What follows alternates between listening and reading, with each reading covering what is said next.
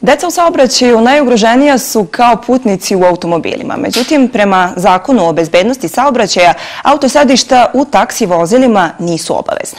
Kako bi se najmlađi i u tom segmentu zaštitili, Agencija za bezbednost saobraćaja zajedno sa Centrom za promociju bezbednosti pokrenula je pilot projekat podele autosedišta taksi udruženjima u Novom Sadu.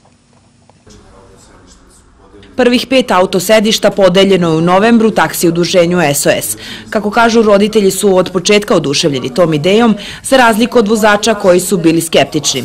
Sada, kada su uspostavili razrađen sistem, zadovoljstvo je obostrano. U nekoliko vozila u smeni imamo već montirana sedišta, tako da ta vozila se kreću po gradu i u slučaju da postoji ta potreba, odnosno same mušterije, sami klijenti kažu treba nam takvo vozilo, onda dispečerka angažuje takvo vozilo. Druga opcija je e, držanje sedišta u e, centrali, gde taksista po prijemu, po prijemu poziva ide po to sedište.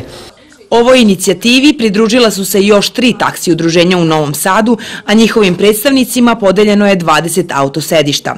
Kako kažu u Centru za bezbednost saobraćaja, ova inicijativa je veoma bitna, jer ukoliko dođe do saobraćene nezgode, autosedišta, odnosno pojasevi za odrasle, mogu da spreče ozbiljne povrede, pa čak i smrt iskustva i roditelja i nas kao stručnjaka koji smo imali prilike da vidimo te saobraćene nezgode je da zaista čuda čine. Njihov glavni zadatak je u tih par sekundi ukoliko dođe do saobraćene nezgode. I generalno kad god delimo auto sedište uvek kažemo želimo vam svima da se ispostavi da vam ovo sedište nikad nije nikad ni ne zatreba jer to znači da nećete imati e, saobraćenu nezgodu, niko od nas ne može da predvidi oće ili neće mu se desiti saobraćena nezgoda, to je izuzetno bitno da uvek i u svakoj prilici koristimo auto sedišta pa eto čak i kad se vozimo taksijem taksisti nisu u obavezi jer su deo sistema javnog prevoza da koriste autosedišta, ali svakako kao i u svako drugo putničko vozilo prevoze decu i hoćemo i ona da budu bezbedna na odgovarajući način. Prema sprovedenoj anketi, skoro svi roditelji bi preizabrali taksi vozilo koje ima autosedište.